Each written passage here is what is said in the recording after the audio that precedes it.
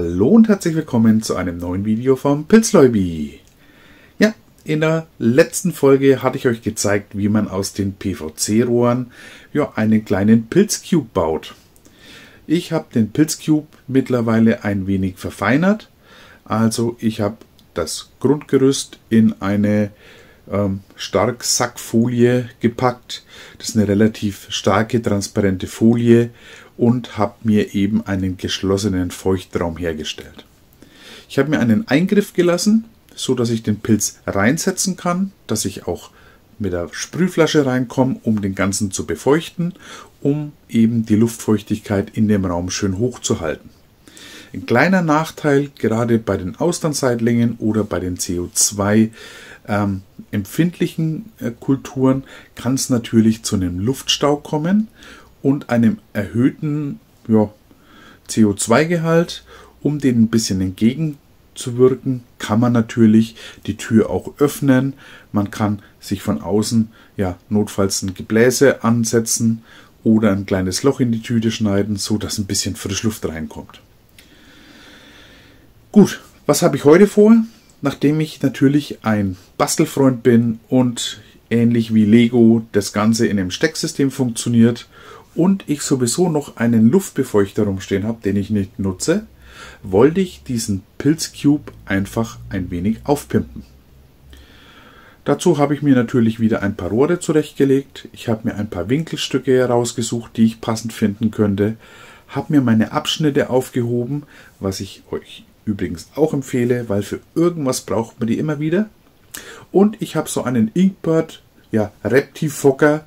Ähm, das sind die mit diesen lustigen Ziehharmonika-Schläuchen, von denen ich übrigens gar nichts halte, weil da bleibt das Wasser drin stehen. Da kann natürlich, können sich Keime und Schimmel entwickeln und der würde dann theoretisch permanent auf die Pilzkultur geblasen bzw. Ähm, ja, getropft werden.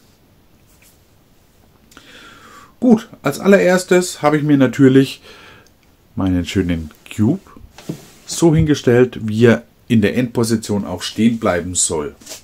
Als Maß habe ich mir ein paar Rohre zurechtgelegt und natürlich meinen Inkbird. Diesen Inkbird stelle ich jetzt als allererstes Mal ja, direkt neben den Cube, um ein ungefähres Maß rauszusuchen, wie hoch ich diesen Inkbird ja, einstellen möchte, dass er eben seine Befeuchtung hat.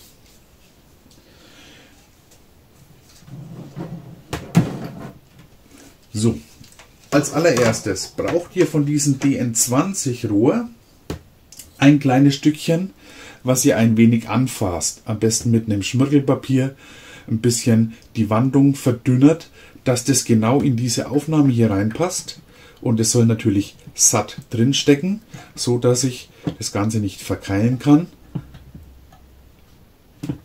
aber trotzdem noch lösbar sein, dass ich die Sache im Reinigungsintervall einfach abnehmen und reinigen kann. Als nächstes brauche ich so 90 Grad Winkel. Das sind diese Klebemuffen, die eigentlich zum Festkleben gedacht sind. Aber auch hier sage ich, da geht Wasserdampf durch den stecke ich mir passend auf diesen kleinen Nupsel, den ich über habe. So, und jetzt kann ich im Endeffekt schon folgendes machen. Ich habe ein kleines Übergangsrohr, was ich jetzt in den Inkbird in den 90 Grad Winkel stecken kann, der durch dieses ja, durch diese Folie geht. Jawohl, und jetzt kann ich theoretisch schon eine meiner anderen Muffen verwenden. Ich habe jetzt hier für den Eskalationsfall, okay, da stehe ich ein bisschen dazu, ein Y-Stück mir zurechtgelegt, habe mir zwei kleine Abschnitte aufgehoben. Diese Abschnitte, wo habe ich es denn jetzt versteckt? Da ist das zweite hin. Kann ich jetzt zum Beispiel verwenden, um dieses Y-Rohr ein bisschen nach außen auszulegen. Und dann nehme ich mir zwei 45 Grad Steckerchen und bastel mir im Grunde eine Verteilung auf zwei Rohre. So von den Maßen her weiß ich ja, dass diese PVC-Rohre ca. 40 cm lang sind. Das heißt, wenn ich das Ganze hier oben auflege, kann ich mir zwei übrig gebliebene Rohre mit je 33 cm zurechtlegen und in diese selbstgebaute Gabel stecken.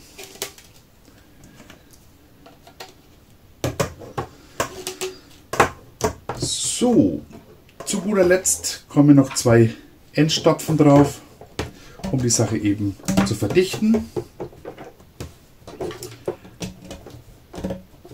Und jetzt müsste ich einfach nur diese zwei Rohre eben schräg einbohren, dass aus dieser Röhre der Luftstrom in die Richtung fließt und hier entgegengesetzt, dass sich das Ganze überkreuzt und hätte quasi eine Extrembefeuchtung für diesen Feuchtraum.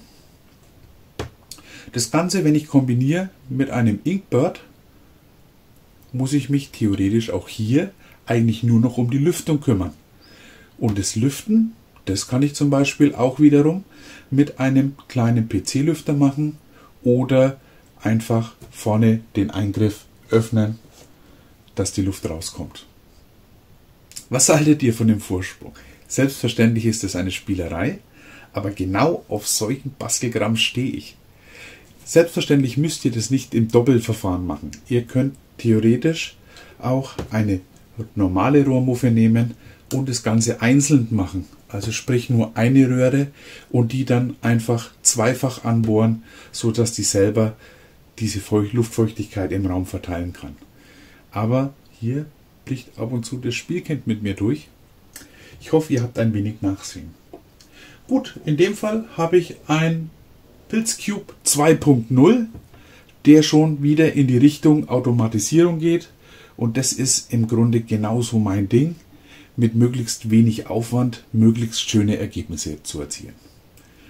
Gut, in dem Sinne, ich hoffe, es hat euch gefallen. Äh, ich hoffe, ihr konntet was mitnehmen. Selbstverständlich würde ich auch hier mich wieder um einen Daumen nach oben freuen. Abonniert meinen Kanal. Falls ihr irgendwelche Fragen habt, schreibt sie einfach in die Kommentare. Ansonsten wünsche ich euch viel Spaß beim Nachbasteln. Macht's gut, euer Pilzläubi.